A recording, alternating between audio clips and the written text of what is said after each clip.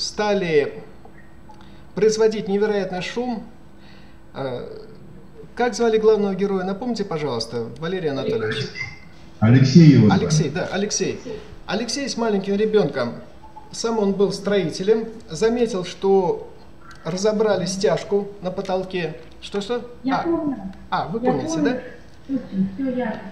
Если не возражаете, давайте мы распределим роли. Кто возьмет на себя роль вот такой взбалмошной соседки?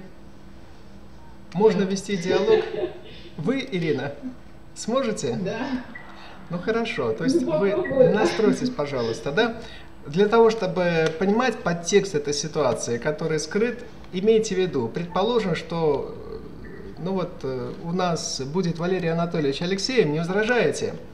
Алексей Нет, с маленьким ребенком, да, с семьей. Э, и, допустим, учитель музыки в начальных классах, бюджетник, скромный человек, ничем не примечательный.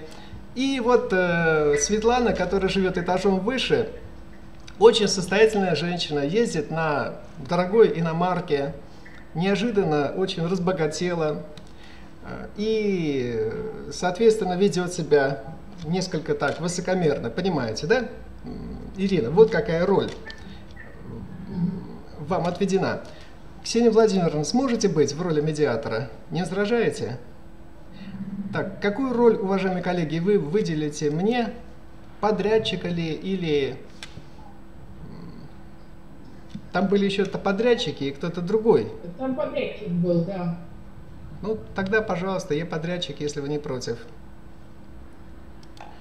Итак, Ирина Владимировна, главным образом нам хотелось бы, чтобы вы посмотрели, как происходит медиация на практике путем участия в имитационных сессиях. Мы эту сессию запишем э, для памяти, затем мы ее проанализируем и посмотрите на работу профессионального медиатора, на работу Ксении Владимировны. Ксения Владимировна, начинайте, пожалуйста, ведите сессию. Коллеги, добрый день. Я приветствую вас в нашем центре медиации и примирения. Меня зовут Ксения Бобнева.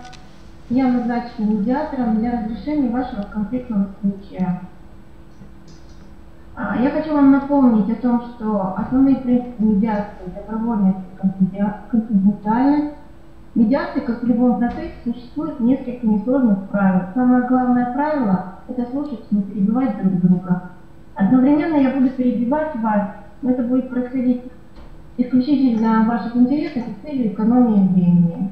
Скажите, пожалуйста, все ли вам понятно? Есть ли ко мне вопросы? Участвую. А мне можно перебивать? В некоторых случаях исключили. Нет, Светлана. Я хочу, чтобы вы договорились сейчас о первом правиле вместе с Алексеем, о том, что перебивать друг друга нельзя. Это несложное правило является основным и обязательным медиации. Для меня все приемлемо. Я все понял. Давайте продолжать. Я, я, тоже, я тоже участвую в медиации, да? Да, слушаю вас. Нет, нет, нет. Ну, как я... зовут подрядчика? Николай. Николай. Николай, Николай. Да. Николай, Николай, это я, да. Я тоже участвую. У меня такие же правила, да? Конечно, Николай. Все, хорошо. Ну что ж, я благодарна вам за то, что вы достигли первого соглашения в вашей конфликтной ситуации о том, чтобы не перебивать друг друга. Скажите, каким временем мы располагаем, и нужно перерывы